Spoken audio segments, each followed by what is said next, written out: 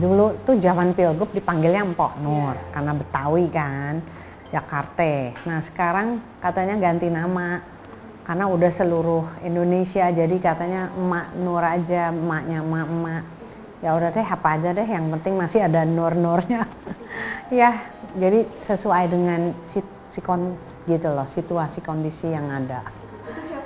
Yang lucunya tuh itu dari semua relawan-relawannya Bang Sandi sampai hari ini tuh justru malah makin bersama-sama gitu untuk ya kayak sekarang ini bersilaturahim terus gitu loh. Jadi akhirnya sekarang dipanggilnya jangan empok ya karena kan udah nggak di Jakarta lagi nih semua skupnya udah seluruh Indonesia ya udahlah untuk kesepakatan bersama jadi yang penting masih maknur apa pun ya udah yang penting mereka masih tahu ya kalau empok tuh Jakarta kalau emak tuh ya seluruh Indonesia ya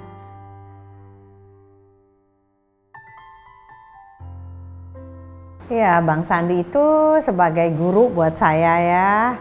Juga selain dia orangnya konsisten, disiplin, komitmen, dan gigih. Dia itu dari dulu, dari saya kenal dari umur 14 sampai sekarang nggak berubah.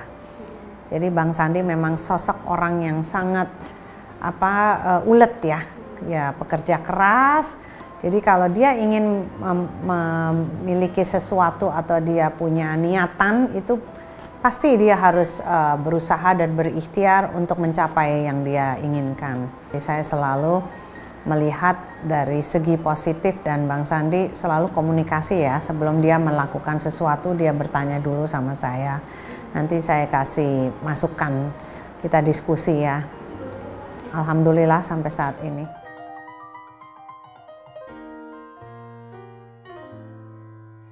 Uh, pada waktu itu sih uh, saya cuman bilang kalaupun memang Allah mengizinkan karena memang uh, kita mau yang terbaik ya untuk negara ini.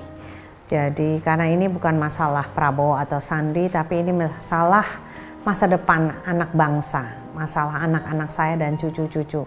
Jadi kita harus semuanya merasa prihatin bagaimana caranya kita semua bersama-sama untuk membangun negeri ini menjadi negara yang lebih baik. Karena buat saya Bang Sandi itu meninggalkan uh, gubernur, wakil gubernur DKI dia sudah mem mempunyai banyak program. Jadi uh, tinggal dijalankan karena memang Bang Sandi itu yang tadi saya bilang dia komitmen, dia bertanggung jawab dan semua sudah dia persiapkan. Jadi tidak dia keluar uh, meninggalkan kursi wagub begitu saja, tetapi dia sudah bikinkan semua program yang tinggal dijalankan.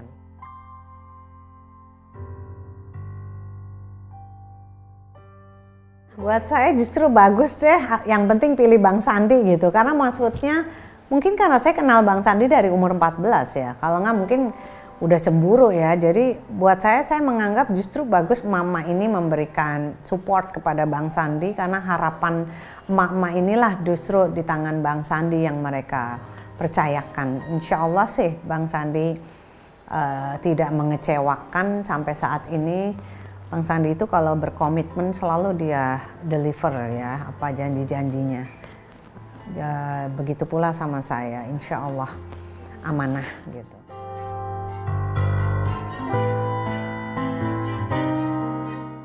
Bang Sandi itu memang orangnya tegas ya, tapi dia uh, selain dia sama anak-anak juga deket ya. Maksudnya tuh Bang Sandi itu orangnya tuh selalu uh, tepat waktu dan dia selalu uh, disiplin. Jadi saya selalu harus bisa mengimbangi ya dalam arti kalaupun saya nggak bisa ikutan misalnya dia kampanye dalam waktu uh, yang sangat singkat.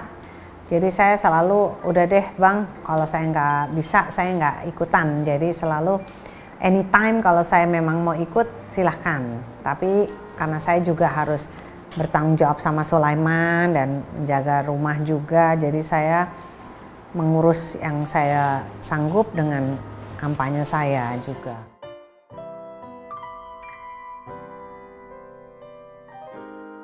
Ya, kebetulan anak kita yang dua yang udah besar di Amerika ya, kuliah.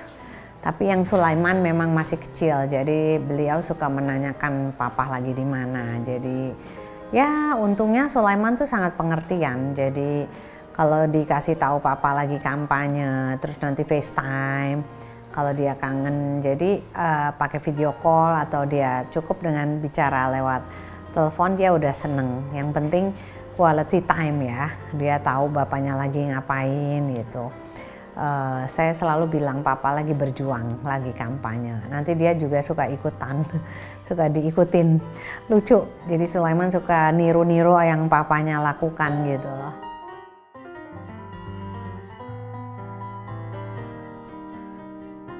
Mereka selalu uh, kasih advice papanya. Jadi yang paling besar ya, terutama Atira dia sangat concern karena uh, dia selalu memberikan masukan, Pak, kenapa nggak sebaiknya begini?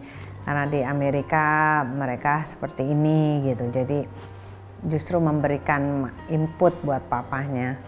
So far sampai saat ini mereka support.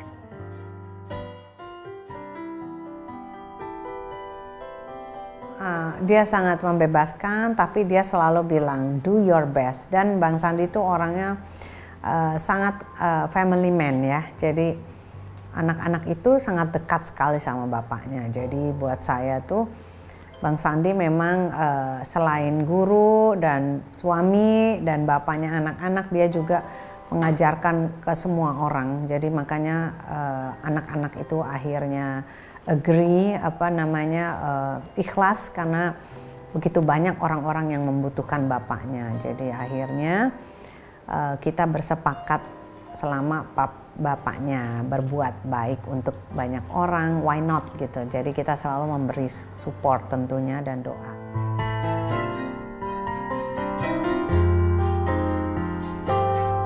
Mungkin sekarang belum ya. Uh, mereka lebih karena anak muda itu beda ya, lebih ke ke bisnismen gitu. Jadi mungkin kalau sekarang kan prioritas mereka harus step by step ya jadi buat mereka itu selalu selama yang dipikirkan yang baik untuk uh, masa depan kenapa enggak gitu. Jadi mereka juga kadang-kadang minta advice sama bapaknya. Gitu. Jadi bertukar pikiran sering memang.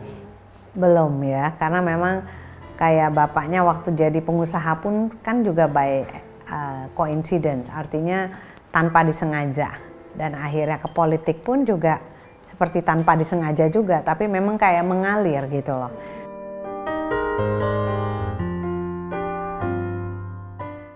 Iya, masih teenagers ya. Eh, Bang Ali itu temennya abang saya sebetulnya. Jadi uh, abang saya suka titipin mobil di rumahnya Bang Sandi. Nah waktu itu tuh ibu saya tanya, kamu tuh kalau titip mobil di rumah siapa? Soalnya kan uh, nggak semua temen-temennya bawa mobil kan. Jadi akhirnya uh, abang saya bilang iya ada di rumah temen saya. Dia tuh orangnya uh, rumahnya suka buat ngumpul-ngumpul temennya tapi ibu bapaknya tuh jarang di rumah. Cuman ini anak pinter banget katanya. Kalau dapat ulangannya dapat 9 tuh badannya panas saya cuma dengar kok dapat 9 panas kayak aneh juga ya. Sementara kita dapat 8 udah kesenengan. Ini kok dapat 9 panas. Siapa ya orang ini gitu loh. Sampai di mana Bang Sandi sering datang ke rumah tapi nggak pernah ketemu. Begitu ketemu ya itulah love at the first sight. Jadi lucunya dia ngelihat saya tuh kayak kaget gitu loh. Li, dia bilang ke abang saya, lu tuh punya adik ya? Uh, oh saya kebetulan lewat, jadi waktu itu ibu saya juga sih yang ini. Lihat deh, lihat ya ada temennya Abang Ali cakep katanya. Aduh, saya bilang apa sih mama nih kok kegenitan gitu. Bang Sandi tuh orangnya selalu nggak mau nggak mau pamer ya, apa sih? Jadi saya taunya tuh Bang Sandi juara apa pelajar terbaik, terus uh, jago basket, ya segala macam tuh bukan dari Bang Sandi, malah dari temen-temennya.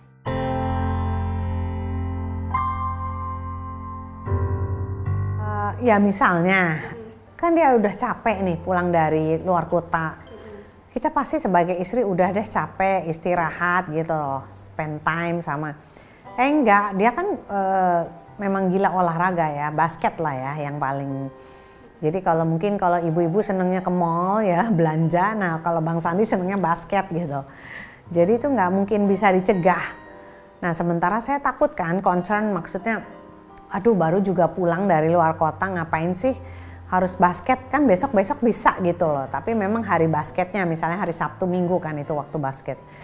Terus kalau saya udah larang tapi dia lakukan terus tiba-tiba tuh nanti ada aja ininya. Tiba-tiba ternyata lapangan basketnya tutup lah terus nanti dia yang nggak mau bilang dong gengsi. Padahal udah saya larang tapi kan dia tetap melanggar. Terus nanti berapa lama kemudian dia langsung ngomong, aduh kamu tuh ya jangan kayak gitu deh non, kamu tuh kan witch katanya. Kenapa saya bilang, iya kalau kamu udah bilang enggak terus saya langgar langsung deh kejadian. Apa tuh? iya kamu bilang jangan basket tiba-tiba semua lapangan basket tutup.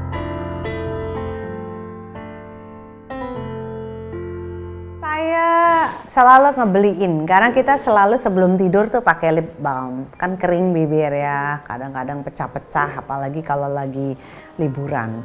Kan kalau di sini sih lebih apa namanya uh, panas dalam gitu kan. Bang Sandi suka seriawan gitu kan. Jadi saya selalu belikan uh, lip balm supaya uh, dipakai jadi nggak kering sebelum tidur. Atau kalau memang lagi kering banget pasti saya taruhin di apa namanya di tempat yang biasa vitaminnya dan lain-lain gitu. Jadi memang saya yang beliin.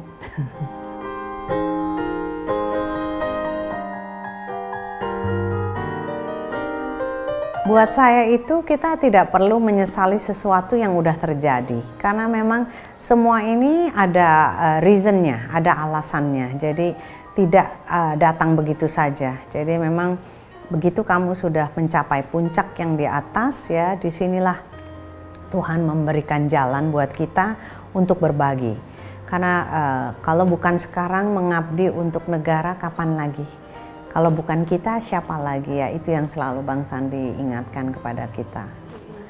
Gak ada rasa penyesalan karena segala sesuatu yang sudah terjadi pasti ada hikmahnya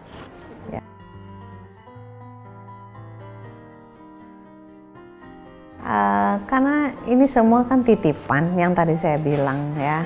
Bagaimanapun Tuhan udah menitipkan dan uh, kalaupun kita makan sehari tiga kali ya. Jadi segala sesuatu yang berlebihan pun juga tidak baik. Jadi nggak mungkin kita bisa habis makan sehari tujuh kali katakanlah. Memang uh, yang sudah Allah titipkan ini inilah waktunya untuk diamanahkan kepada rakyat buat saya itu. Tidak dimasalahkan karena rezeki itu sudah ditentukan oleh Allah. Jadi nggak usah pernah takut